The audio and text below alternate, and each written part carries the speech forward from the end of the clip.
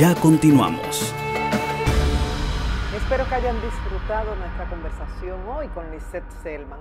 ¿Por qué la invitamos? Porque es un modelo a seguir, porque nos da muchas lecciones. Lo primero, ha dicho sí a cada experiencia, a cada invitación que le ha hecho la vida, no importa lo retadora que haya sido esa vivencia. Y en todas se ha graduado con honores. También ha logrado ese equilibrio entre lo que es esa vida familiar como madre, abuela, hermana, hija y la vida profesional.